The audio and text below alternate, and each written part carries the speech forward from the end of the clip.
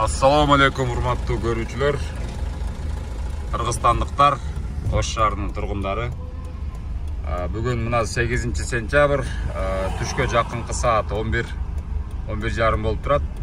Адатта мындай убакытта мына ушул наваи көчөсүндөгү көпүрөнүн үстү болуп көрбөгөндөй пробка болмок да буга чейин пробка болгон. Азыр мына бул надземный переход пешехода курулгандан кийин айланма жөөтмө курулгандан кийин азыр мына көрүп турасыздар.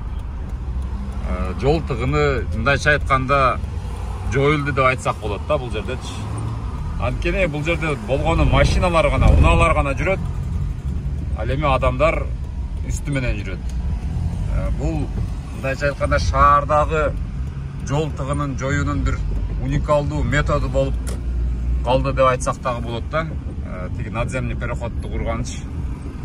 Ошондуктан мен ойлойм демек шаардын мына ушундай кесилиш негизги кесилиштерге эл көп унаалар көп каттаган жерлерге ушундай айланма бийик жөөтмөктөрдү куруу демек жакшы экен деп айтсак болот да